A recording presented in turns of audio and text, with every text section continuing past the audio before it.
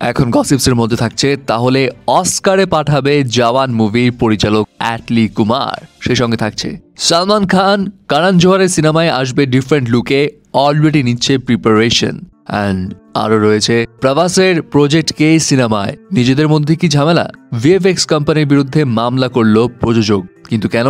সেটাও জানাচ্ছি। প্রথমে আসি জওয়ানের কাছে। জওয়ান মুভি তো ধুমিয়ে ব্যবসা করছে। অলরেডি আয়ের রেকর্ড অনেকগুলো ভেঙেও ফেলেছে। আয়ের রেকর্ড ঠিক আছে, কিন্তু এখন পরিচালক অ্যাটলি কুমারের নজর আরও বড়। সে রিসেন্টলি এক ইন্টারভিউতে জানায়, জওয়ান মুভি সে অস্কারে পাঠানোর প্ল্যানিং করছে। তাকে জিজ্ঞেস করা হয়, জওয়ান নিয়ে তার পরিকল্পনা কি? অস্কারে যাওয়ার প্ল্যানিং আছে কিনা? এই উত্তরে সে জানায় ডেফিনেটলি আছে। শুধু তার একার না, এই মুভির প্রতিটা টেকনিশিয়ান প্রযোজক, সবারই টার্গেট এই মুভিটাকে অস্কারে পাঠানো। এবং অ্যাটলি কুমার এটাও বলে, শাহরুখ খানের সঙ্গেও তার কথা বলতে হবে এবং শাহরুখ খানের কাছ থেকে কথা বলে সব যদি ব্যাটে বলে মিলে যায়, তাহলে এই সিনেমাটা অস্কারে পাঠাবে অ্যাটলি কুমার। এখন তার এই পাঠানো নিয়ে অনেকেই করছে অনেক রকম মন্তব্য।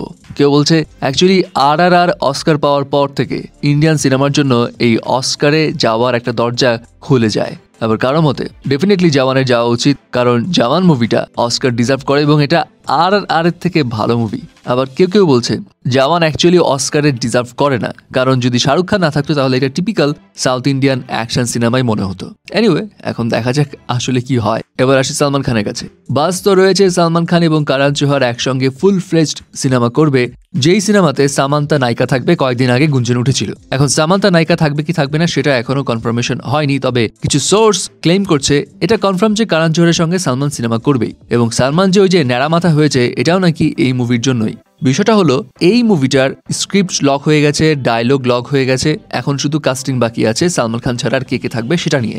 এবং সেই কাস্টিং প্রসেস শুরু হবে অক্টোবর মাস থেকে এবং শুটিং শুরু হবে ডিসেম্বর থেকে এবছরে এবং জানা যায়, এখানে সালমান খানকে ডিফারেন্ট লুকে দেখা যাবে। কারণ এই মুভিটা হবে ওয়ার বেসড থিম নিয়ে, যেখানে সালমান খান থাকবে একজন প্যারা কমান্ডার অফিসার। এবং এই অফিসার রোলের জন্যই সালমান খানকে ছোট ছোট চুলে থাকতে হবে, শুধু তাই নয়, তার ফিজিক্যাল যেই স্ট্রাকচার সেটারও আসবে পরিবর্তন। সালমান খানকে এখানে আরও চিকনভাবে দেখানো হবে। এবং এই কারণে সালমান খান নাকি এখন থেকেই প্রিপারেশন নিচ্ছে, সে ডেইলি জিমে যাচ্ছে, পাশাপাশি সে অনেক স্ট্রিক্ট ডায়েট ফলো করছে নিজের ওজন কমানোর জন্য। সো দেখা যাক, কানান জোহার সালমানকে কোন লুকে নিয়ে আসে সামনে।